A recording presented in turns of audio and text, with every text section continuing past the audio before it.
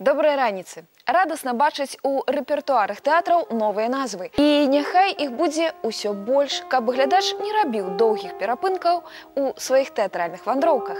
Зусім нядаўна на фасадзе новага драматычнага тэатра з'явілася афіша спектакля пад аптымістычнай, але мала пра што тлумачышай назвай я буду жыць. Пры найблізкім разглядзе апынулася, што гэта пастаноўка па п'есе Айвана Менчала дзявочнік над вечным супакоем. Гісторыя не вельмі вясёлая. Тры ўдавы кожны месяц наведваюць магілы сваіх мужоў, але на душы гледачоў не кладзецца пахавальны сум. Яны смяюцца, усхліпваюць і зноў смяюцца. Яны глядзяць сумную камедыю ці, калі заўгодна, лірыка іранічную драму. Гераін спектакля злучае не толькі агульная страта, але і шматгадовае сяброўства. Яны і сварацца і рэжуць адзін аднаму праўду вочы, але кожная прымае сябровак у комплексе з усімі добрымі якасцямі, недахопамі, слабасцямі і думае, што ведае пра ўсю іх паднаготную. Але па ходзе п'есы высвятляецца, што кожная з іх глыбока хавае трагедыю сваёй самотнай душы нават ад самых блізкіх сябровак. І кожная марыць знайсці другую палоўку.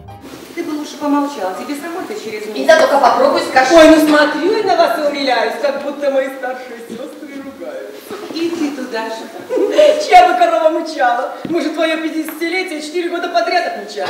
Палова поспеху пастаноўкі ў правільным падборы акцёраў. Глядзіш п'есу і здаецца, што менавіта такімі драматург і бачыў сваіх герояў.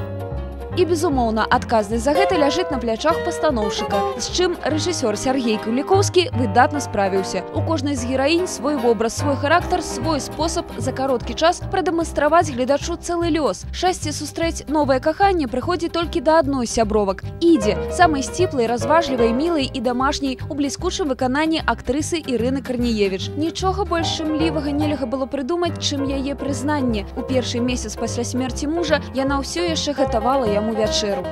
Так что я эти ужины еще долго готовила. Все думала, вот он почувствует и вернется.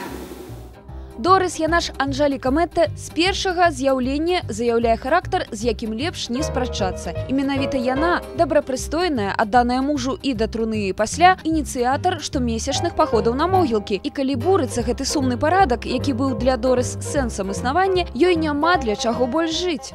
Ему пошел восьмой десяток, и кого волнует, что он бегает за юбками?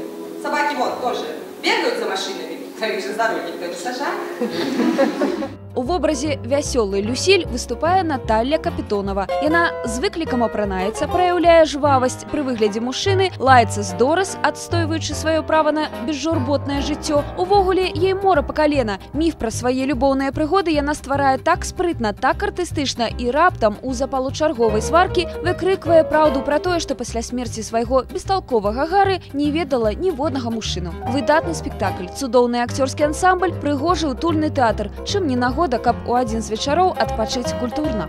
На гэтым усё, але я адразу спяшаюся зноў дамовіцца з вами пра спатканне. Час сустрэчы спектакль, месца глядзельная зала і на будучыню прапускаць падобныя мерапрыемствы катэгарычна забараняецца.